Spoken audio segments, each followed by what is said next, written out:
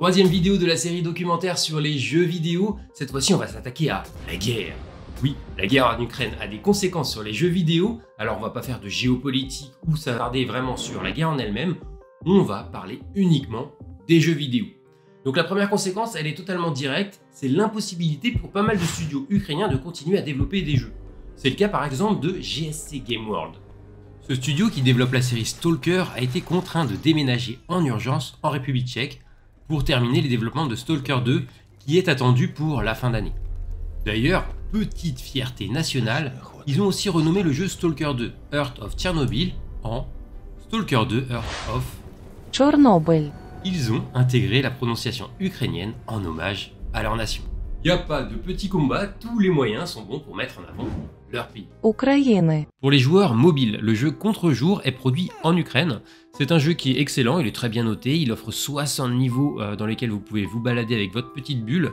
Donc si vous voulez les soutenir, euh, c'est 2 euros, c'est pas cher payé, ça ajoute un très bon jeu à votre catalogue. Si jamais il y a des gens qui pensent que c'est une sponsor, ce n'est pas le cas. Je fais uniquement la promotion des bons jeux comme d'habitude sur la chaîne et là il est ukrainien donc c'est l'occasion d'en parler. Pour rester dans le même thème, le studio Necrosoft a mis un pack avec pratiquement 1000 jeux pour environ 10 dollars. C'était le minimum, on pouvait donner plus. Et ils ont réussi à collecter plus de 6 millions de dollars pour International Medical Corps et Voice of Children. Du côté de Riot Games, il y a aussi eu une collecte de fonds. Ils ont soulevé 5,4 millions de dollars pour les associations humanitaires telles que Médecins sans frontières ou la Croix-Rouge. Mais ça reste des petits joueurs parce que Fortnite a décidé de reverser l'intégralité de ses gains entre le 20 mars et le 3 avril.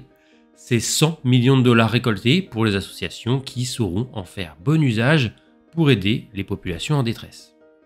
Je cite évidemment les plus gros studios qui ont fait les plus gros dons, j'en mets d'autres même ici qui ont fait euh, des dons qui sont quand même un peu colossaux. Ce qu'il faut savoir, c'est que étant donné que tout le monde donne, eh bien, ils sont un peu tous obligés de donner, sinon pour leur image, ça le fait pas. Tant mieux pour euh, les gens qui en ont besoin, ça leur fait pas mal d'argent. Mais c'est pas les seules choses qu'ils font. La première, c'est que certains studios suivent la politique de boycott. Alors soit ces éditeurs ne vendent plus les jeux en Russie, soit ils ont stoppé les abonnements, soit même euh, bah, pour Sony ou Nintendo, ils ne livrent plus de consoles. Mais à ce sujet, le gouvernement russe a légalisé le téléchargement de tous les logiciels quand ils sont sous embargo, donc ça concerne aussi bien évidemment les jeux vidéo.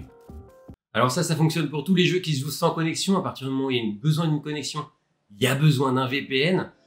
Pense que ça commence à faire beaucoup pour les joueurs non geeks, même si euh, je pense que là, il y a pas mal de Russes qui doivent se tourner sur l'option VPN pour contourner toutes les sanctions qui sont mises en place envers la Russie. Par contre, l'embargo de Google sur les mobiles, ça va pas être gênant très longtemps, parce qu'on connaît déjà cette sanction, les États-Unis l'avaient appliquée à l'entreprise Huawei, et donc pour pallier cette sanction, ils ont développé leur propre Play Store, ça s'appelle Lab Gallery et ça marche très bien. Vous savez quoi? Eh bien la Russie va faire pareil et rapidement parce que la réplique arrive avec un store parallèle qui s'appelle Nash Store. Donc il est développé par les Russes et devrait prendre le relais pour contourner l'interdiction dès le mois de mai. Puis ça va surtout laisser l'opportunité à tous les développeurs de jeux, mais surtout d'applications mobiles, de pouvoir fournir des applications au euh, peuple russe. Parce qu'il faut se l'avouer, si jamais moi on me donne un téléphone qui est vierge sans aucun service Google, bah en fait ça revient à avoir un téléphone comme on en avait en je sais pas 2005. Donc euh, il fait euh, téléphone, il fait appareil photo et puis à la rigueur réveil, c'est tout. Donc heureusement pour la population russe, il y a quand même des gens qui se bougent le cul pour leur fournir des téléphones avec un petit peu plus que le service minimum. Par contre, on voit bien que les sanctions sont vite contournées. D'ailleurs, pour les joueurs Android, il existe une application qui s'appelle TapTap.io. C'est un store dédié aux jeux vidéo. Ça donne accès à des jeux en version alpha, en bêta et des fils de discussion sur des jeux avec les actualités. Ça donne aussi des fils de recherche pour rechercher les jeux par genre, etc., etc.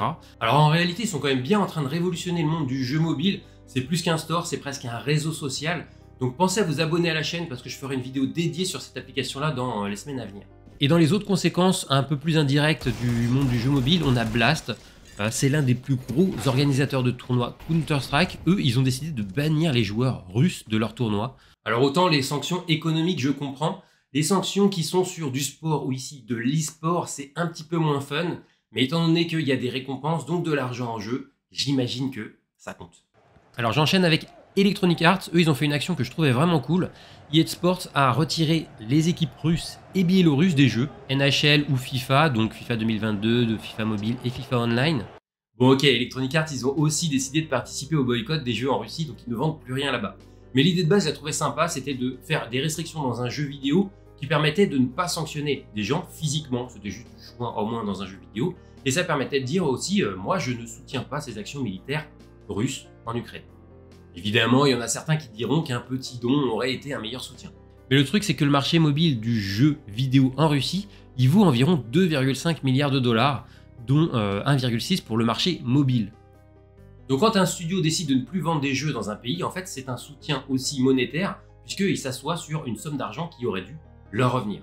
Alors jusque-là, je vous ai annoncé que des choses qui impactent les joueurs russes. Est-ce qu'il y a des choses qui nous impactent nous, les joueurs européens ou mondiaux ailleurs que russes? Alors j'ai longtemps cru que euh, les plateformes comme Steam ou euh, les Apple Store euh, et le Play Store allaient bloquer les ventes de jeux russes. Mais c'est pas du tout le cas, alors relativement tant mieux pour nous. Par contre, sur Steam, les studios russes ne reçoivent plus d'argent. En théorie, c'est en attendant la levée des sanctions qui bloquent tous les déplacements d'argent vers la Russie. Et je sais pas pourquoi, mais sur Play Store, ils payent bien les développeurs russes. Mais euh, en tout cas, il y a un éditeur de jeu, euh, celui qui a édité Loop Hero. Alors pour rappel, c'est le meilleur jeu indé de 2021. On l'a énormément vu sur Twitch, euh, il y a quasiment tous les streamers qui ont joué. Et en fait, eux, ils se sont dit, ok, bah, quitte à pas recevoir l'argent, il n'y a pas de raison que les joueurs l'achètent. Donc l'éditeur a mis à disposition le jeu gratuitement, directement en torrent. Alors c'est très étonnant parce que l'argent il n'est pas bloqué à vie, j'imagine bien que Steam qui est derrière Valve, plutôt l'inverse, Valve qui est derrière Steam, euh, ils vont reverser l'argent dès que ce sera disponible, dès que les sanctions seront levées et que l'argent pourra recirculer vers la Russie et donc vers les studios du russe. Donc si vous avez euh, des précisions à mettre sur euh, cette information-là, j'arrive pas à comprendre le sens et la logique derrière le studio qui est derrière Loupero, donc n'hésitez pas à le faire en commentaire. Et à tout hasard, si vous voulez savoir à quel point les jeux mobiles prennent une part de marché immense dans le marché du jeu vidéo. Je vais vous donner des chiffres qui vous donnent le vertige dans cette vidéo-là et dans laquelle j'explique aussi comment certains jeux ont été adaptés en version mobile, comme Rocket League par exemple, pour ceux qui ne connaissent pas et qui ne connaissent peu les jeux mobiles. Ce sera tout pour cette vidéo, je vous souhaite à tous un très bon jeu et à bientôt